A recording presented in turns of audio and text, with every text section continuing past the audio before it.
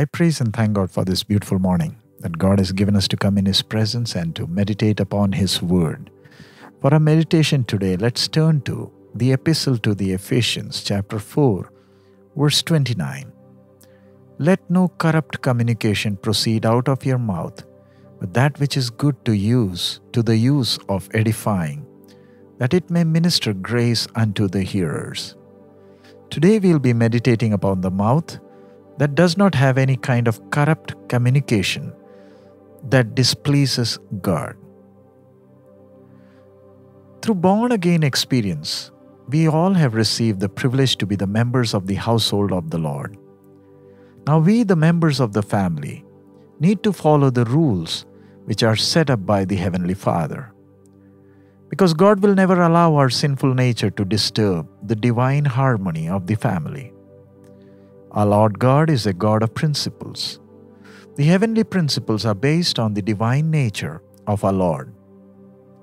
When Adam and Eve disobeyed God and sin took rule of their life, God drew them out of the garden because the nature of sin can never stand in the presence of the Lord.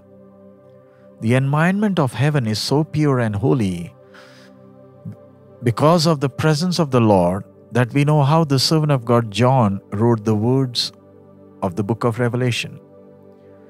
Even the seraphims of heaven adore the holiness of the Lord. Then we who are getting ready to go to heaven, how much more we need to be careful in our talk. In heaven, there is no foolish talking that will be an offense for the hearers. The Spirit of the Lord tells us that the words that come out of our mouth must be for the edification of the hearers. We all know about the incident where the judgment of the Lord came upon Miriam for raising her voice against the servant of the Lord Moses.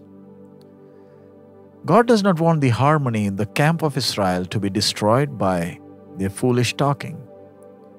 God tells that with Moses, God talks mouth to mouth. And we see that there does not come any undefiled talking from the mouth of Moses.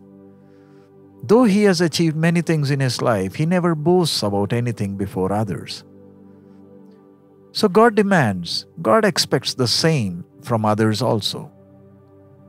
If God was strict with the chosen people to this extent, then how much more God is with his children who will be with him for eternity? We have received eternal life through Christ.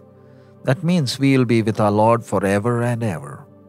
So God wants us to be serious about our life, not only in this world, but in eternity also.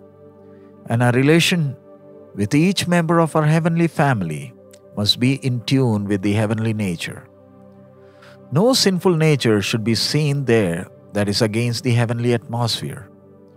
So the Spirit of God warns us in Colossians chapter 3, verse 8 that but now ye also put off all these anger, wrath, malice, blasphemy, filthy communication out of your mouth. Here the Word of God warns us even about filthy communication. That means humor that does not have any meaning. It may seem a simple thing for us, but these foolish talk is not for a child of God as it does not bring edification to the person before you. God wants our speech to be always with grace, seasoned with salt. Let us examine ourselves. Are we careful about our talk, or do we ignore it as a simple thing? Always remember, our talk must be for the edification of others rather than entertainment. So let us pray to the Lord to season our words with grace and purity, so that the hearer may be edified and come closer to the Lord. May the Lord help us for that. Let's close our eyes and let's pray. Father, we praise you and thank you for this beautiful opportunity that you have given us to come in your presence, Master. Thank you for this new day. Thank you for speaking to each one of us. Lord, we are your temple. We are your children. And as we are getting ready to be with you forever, Lord, help us to grow to maturity. Help us to be careful when we talk with others. May our words be seasoned with salt, seasoned with grace, so that others are blessed.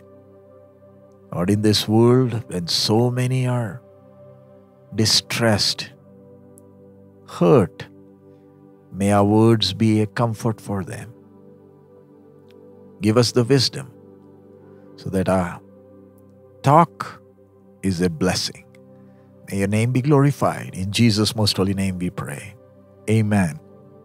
May the Lord help each one of us to be careful when we talk. And may our words be a comfort for others. May God bless each one of us. Our Lord is coming very soon. Maranatha.